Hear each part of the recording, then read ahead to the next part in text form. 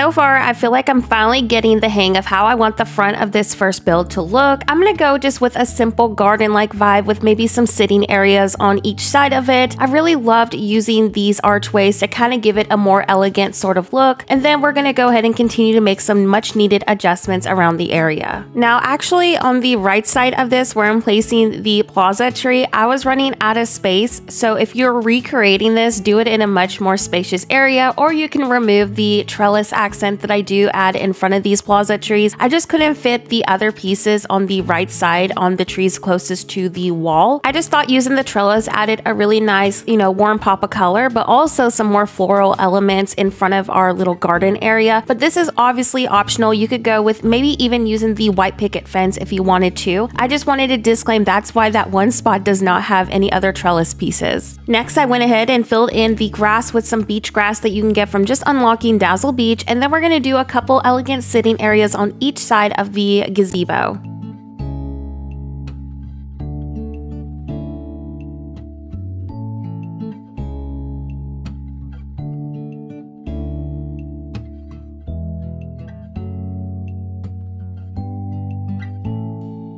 After all my final adjustments and extra details, here is how our first gazebo idea turned out. I kind of went for like a garden, little restaurant sort of vibe in front of the entrance, but I really love how this turned out. I think if you wanted to expand on the restaurant idea, placing Remy's shop over here could be such a great addition to this build, and of course, adding some more sitting areas. Now for the next build idea, we're going to go ahead and continue to expand on the large building structure idea with the gazebos. I'm going to continue a very similar layout to the first structure with the benches and the pillars that we get from the premium shop set with the gazebo, but this time we're going to surround them with some bushes and different types of greenery. I was also going to use the rocky terrain in this build, but I decided against it because I actually want to save this for my Glade of Trust build. Now for the second build, we're going to go with a large U shape with the gazebos instead, and this is going to be really inspired by that first scene in the Hercules movie when he's running into the shopping district, but instead of obviously turning it into a shopping area, we're going to do a large garden. The great thing about this second build, if you wanted some extra greenery, this build has a lot of it, but second, because of the U shape, you can do so many different things with this build. You could actually turn this into the restaurant if you wanted, or you could also use the shopping district idea and have a bunch of stalls and move Goofy over here too.